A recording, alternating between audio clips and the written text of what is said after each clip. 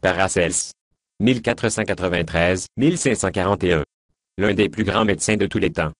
Paracels, Théophraste Bombast-Von 1493-1541, l'un des plus grands médecins de tous les temps, naquit voici plus de 500 ans, le 10 novembre 1493, près d'Insidelne, en Suisse. Excepté Hippocrate, peu de praticiens laissèrent de monuments comparables au sien. Il eut pour ami quelques célébrités de la Renaissance, tels le grand humaniste Erasme ou l'éditeur Johann Froban. Ambroise Paré et Giordano Bruno, portèrent un vibrant hommage à son enseignement. Pourtant, il fut souvent incompris par ses contemporains, méprisé par les officiels, et les mandarins des universités le traitèrent en charlatan. Sa vie de chercheur solitaire, à contre-courant des idées reçues, en fit un éternel contestataire, un errant. Il utilisa la langue allemande commune, plutôt que le latin dans ses écrits, afin de rendre la science accessible au plus grand nombre.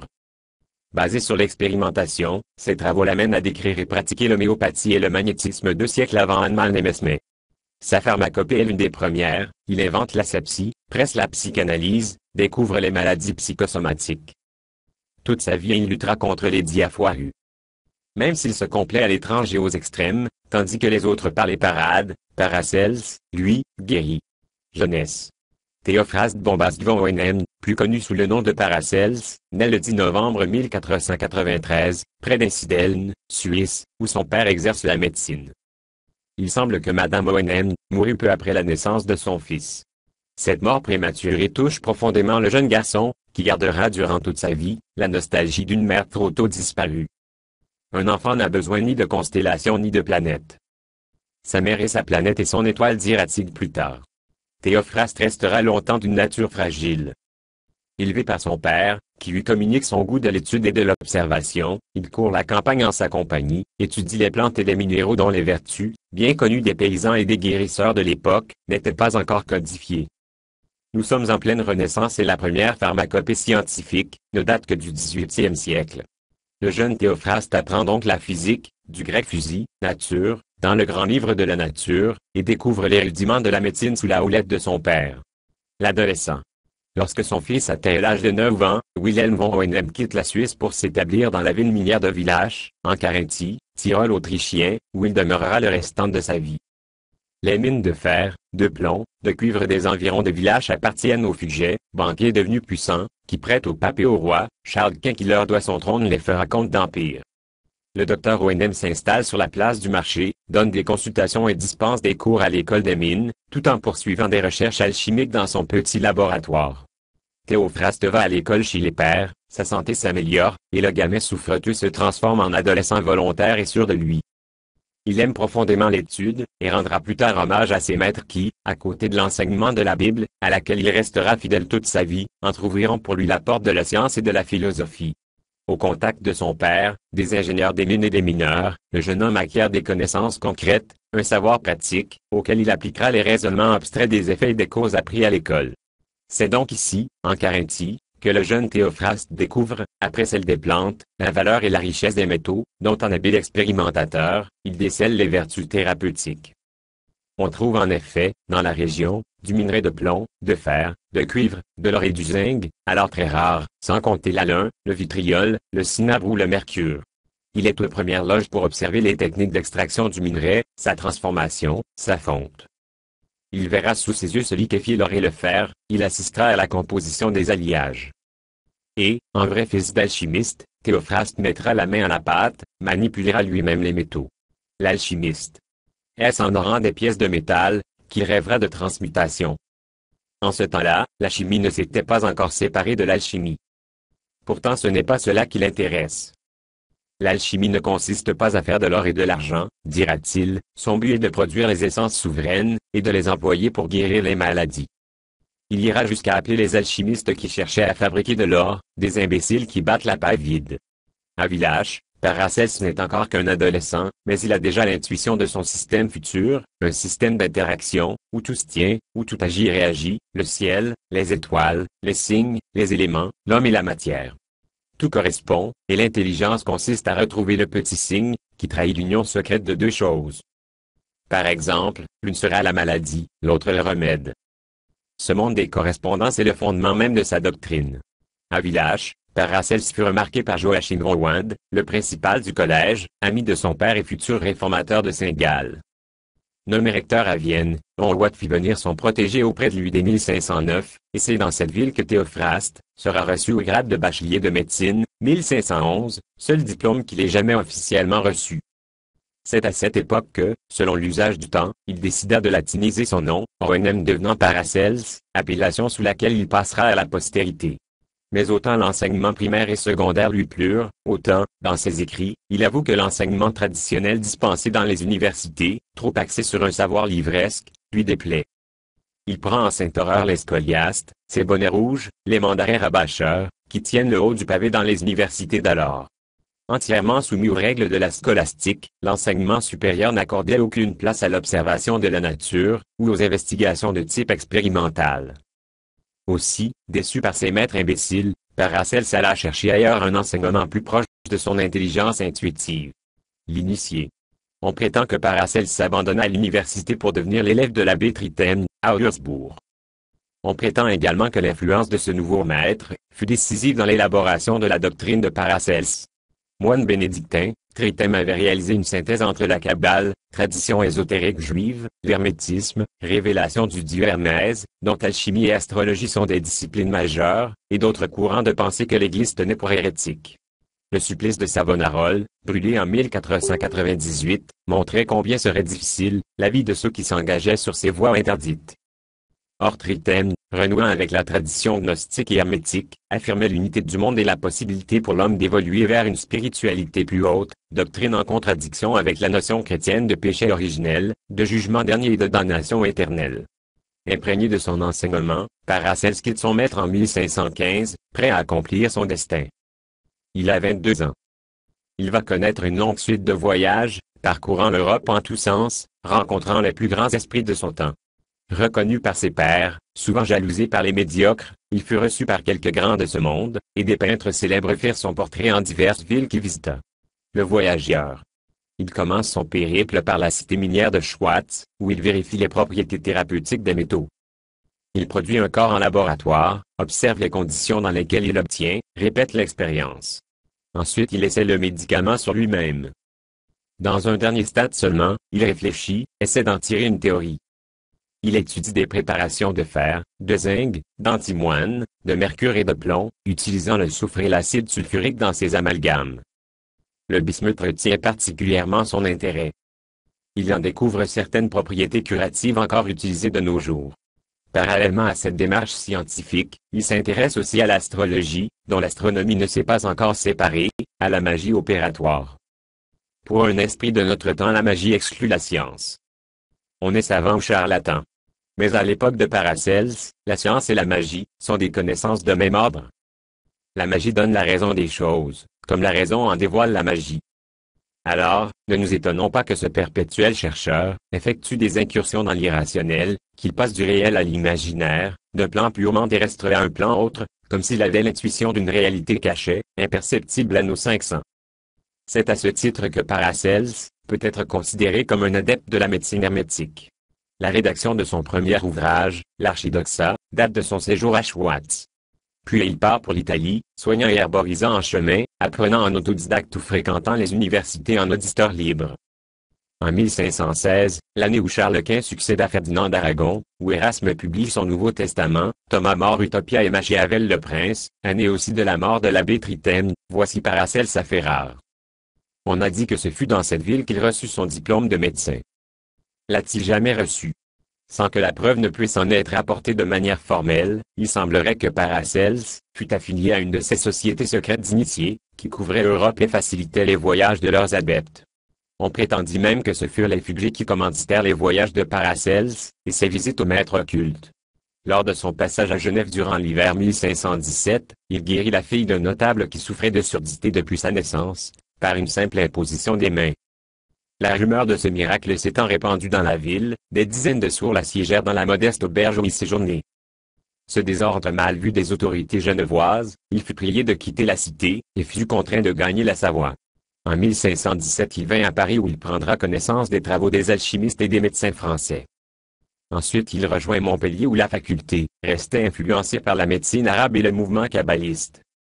il vit le Zodar. Il retourne en Italie, mais le climat intellectuel n'y est plus de son goût, et il s'embarque pour l'Espagne avant de rejoindre Lisbonne. Son but. Son but reste toujours d'améliorer ses connaissances, et il ne cessera jamais d'étudier et d'expérimenter.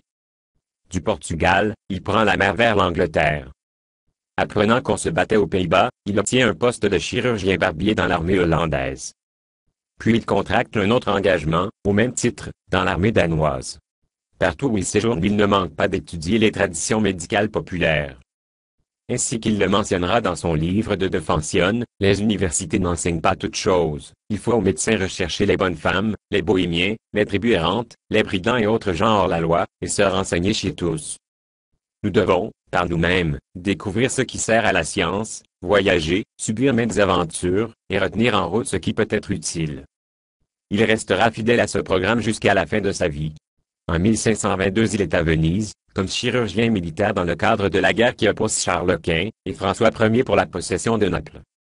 Il y acquiert une grande notoriété, ayant guéri 18 princes abandonnés par leurs médecins. Il choisit le mauvais camp. En l'an 1524, Paracelse sera mêlé aux révoltes paysannes de l'Empire. Il soignera les plus malheureux. Mais il a choisi le mauvais camp, et il doit fuir. L'année suivante, il retourne une dernière fois auprès de son père, à Villach, avant de chercher à s'établir. En 1526, le voici à Strasbourg, inscrit à la guilde de la Lucerne. Il soigne et guérit le margrave de Bade, qui souffre de dysenterie chronique. Il y gagne une bague, mais aussi la jalousie de ses confrères qui l'accusent de sorcellerie, incitant le margrave à lui refuser les honoraires convenus. Il est furieux et le proclame. Le professeur. Froban, le grand éditeur balois chez qui s'est retiré Erasme, appelle Paracels à son chevet. Une de ses jambes paralysées ne répondant plus, les médecins officiels veulent l'amputer. Grâce à son art, Paracels évite l'amputation, et Froban retrouve l'usage partiel de ce membre. Théophraste fait coup double en soignant les troubles hépatiques d'Erasme. Ses deux nouveaux amis lui proposent de s'installer à Bâle où le poste de médecin de la ville est vacant. Grâce à leur influence, Paracels est nommé médecin municipal, poste important, car il comprend une chaire de médecine à l'université, et la surintendance des apothicaires. En 1527, il commence son cours à l'université de Bâle, rejetant le décorum vestimentaire des professeurs du temps, et l'usage du latin au profit de l'allemand. Dans le climat révolutionnaire de l'époque, l'accueil des étudiants est enthousiaste. Paracels confirme son rejet de l'enseignement rétrograde, esclérosé des anciens pour étudier les maladies sur les malades, et rechercher les remèdes dans la nature. La tradition hermétique. Il rejette la philosophie scolastique, qui répartit l'univers en catégories, montre Dieu et le monde séparés, l'âme et le corps formant chez l'homme, un dualisme irréductible. Il dira que, toutes les choses ont été et sont venues d'un, ainsi toutes les choses sont nées de cette chose unique par adaptation. Il s'agit d'intégrer l'homme dans l'univers, car tout ce qui existe vit et possède une âme. Ainsi le macrocosme et le microcosme, l'homme, ne font qu'un. Il inaugure l'étude de la pathologie de la nutrition en soulignant que notre corps absorbe les poisons joints aux aliments. Sous le nom de maladie du tartre, il analyse la rétention des déchets, qu'engendre une digestion incomplète. Il observe les intoxications d'origine respiratoire, et insiste sur la nécessité d'aérer les chambres des malades et des hôpitaux. Pour Paracels, l'homme et l'univers sont unis par une synergie parfaite. Notre corps est formé d'éléments, qui existent dans l'univers et l'interaction entre l'environnement, et la créature est constante. Enfin notre entité spirituelle, peut être sujette à l'influence de celle des autres hommes, la suggestion, hypnose, et la persuasion, envoûtement, sont de simples projections d'une volonté. Les maladies mentales. Paracels perçut clairement la nature des maladies mentales. Il étudia en particulier l'épilepsie, le haut mal du Moyen Âge, et rejeta toute influence diabolique dans leur apparition. Abordant l'étude de la psychiatrie, il distingue l'inconscient du conscient, qu'il désigne respectivement, par le terme d'âme animale, et d'âme spécifiquement humaine. Son insistance pour protéger les personnes atteintes de folie, est proportionnelle à la dureté des mœurs du temps à leur égard, prison, torture et bûcher sont monnaie courante. Il indique la fonction cathartique, de, du rêve que Freud redécouvrira quatre siècles plus tard, mais soutient aussi l'existence de rêves prophétiques ou surnaturels. Sa pratique thérapeutique consiste à s'en remettre avant tout à la nature. Il faut soumettre l'expérience au crible de la vérité. Mais on ne doit pas procéder de manière aveugle. La guérison est la résultante d'un processus naturel, le fluide vital. Après Hippocrate, Paracels enseigne que les semblables guérissent les semblables. Il suit la règle de similitude et, Pour établir le lien entre un médicament donné et un certain état morbide, il développe la notion de signature, l'activité vitale des objets naturels, où leurs apparences demeurent en relation étroite avec les particularités de chaque maladie. Il faudra attendre trois siècles, et les travaux d'Hellman pour voir cette notion se constituer en doctrine, l'homéopathie. Le précurseur. Ce sont des considérations magiques analogues, qui conduisent Paracels à développer l'organothérapie, utilisation des organes animaux pour soigner certaines maladies des mêmes organes humains, technique aujourd'hui très à la mode. Il recommande le sérum sanguin pour contrer les hémorragies. Imprégné d'alchimie, il heurte les théories du temps en préconisant le premier l'usage de sel métallique, les médecins de son époque regardaient comme de dangereux poisons. Il n'ignore pas l'importance du dosage, ni même de son aspect infinitésimal, dont l'homéopathie fera le plus grand usage. Il est aussi le précurseur de la thérapeutique magnétique, utilisant l'aimant contre certaines maladies. Toutes ces découvertes nous autorisent à considérer Paracels comme le plus grand novateur de l'histoire médicale occidentale. Mais, si ses étudiants le suivent avec enthousiasme, Paracels voit bientôt se dresser contre lui une puissante cabale animée par les médecins balois, qui le contraignent à l'exil. Il s'installe à Colmar en 1528, puis, un an plus tard à Esslingen, en marge de ses consultations et de ses expérimentations médicales, il se livre à des travaux occultes. Médecin reconnu par ses pairs, Paracels est également un ésotériste qui étudie et expérimente toutes les recettes possibles, entretenant des liens étroits avec les plus grands initiés de son temps. Il pratique toujours l'alchimie qu'il considère comme la médecine suprême, capable de rétablir la santé tout en opérant la transmutation spirituelle de l'être. On prétend que ses travaux la menèrent très loin. Une belle légende voudrait qu'il ait découvert comment redonner corps aux objets ayant perdu leur substance matérielle, et même réussi à créer un homoncule sans l'aide d'une matrice humaine. Occultiste et prophète. Si l'expérimentation demeure pour Paracels, la seule méthode d'arracher les secrets de la nature physique, la magie est le moyen de développer l'intuition spirituelle, clairvoyance, et d'agir sur le monde extérieur en faisant appel à d'autres énergies, de même que le monde n'est qu'un produit de l'imagination de l'âme universelle, l'imagination de l'homme, qui est un petit univers, peut créer ses formes invisibles et celles-ci se matérialiser. Pour lui, les opérations de magie procèdent de forces naturelles, il va jusqu'à décrire dans les moindres détails, le processus d'envoûtement avec figurines de cire, utilisation du gain de sympathie entre le sujet et son image. Il va même jusqu'à supposer, que nombre d'entités occultes généralement invisibles nous entourent, et que certaines modifications de notre sensibilité, par l'usage de drogues suite à la maladie, peuvent nous les rendre visibles sur un autre plan, qu'il appelle éthérique. Il parle aussi de la possibilité d'évoquer les morts, et de faire apparaître leur corps sidéral, et non l'intégralité de la personne. N'est-ce pas l'ectoplasme des spirites? Dans ses traités philosophiques, il fait passer l'illumination avant la science, renouant ainsi avec la gnose, doctrine reprise par les théosophes. Imprégné de traditions ésotériques, et professant la notion d'illumination directe, Paracels ne prit guère parti dans la querelle entre catholiques et protestants. Il critiqua l'Église avec prudence, vitupérant l'ignorance de ses prêtres et le trafic des reliques, considérant que seul un saint peut, de son vivant, accomplir des miracles grâce à son pouvoir spirituel. S'il montra au début quelques sympathies à l'égard de la réforme, il la qualifia vite de ramassis de secte.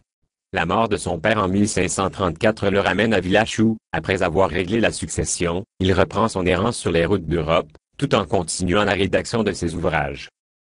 Le plus étrange reste ses pronostications, comparables, plusieurs décennies avant leur parution, aux centuries de Nostradamus. Il y annonce entre autres la Révolution française, et la chute de la monarchie absolue. Suite à la publication de sa grande chirurgie dédiée au roi Ferdinand, Paracels est reçu à la cour de Vienne avec tous les honneurs, en 1537. La même année, il rencontrera fortuitement, dans une auberge au cours d'un voyage, Jérôme Cardin avec qui il s'entretiendra durant plusieurs heures, et dont il dira dans un de ses ouvrages qu'il fut l'un des plus éminents esprits de son temps. Si la majeure partie de sa vie fut marquée par des persécutions, il connut malgré tout de son vivant, la gloire et la reconnaissance de ses pairs. Il meurt à Salzbourg le 24 septembre 1541, dans des circonstances restées obscures. Enterré avec les honneurs, il le sera, selon ses vœux, dans le cimetière des pauvres de cette ville. Une œuvre immense. Ce jour-là, le Bouddha, ayant réuni un grand nombre de ses disciples sur le pic des vautours, près de Rajagrina, ne prononça pas un mot, mais se contenta de montrer une fleur qu'il tenait entre ses doigts.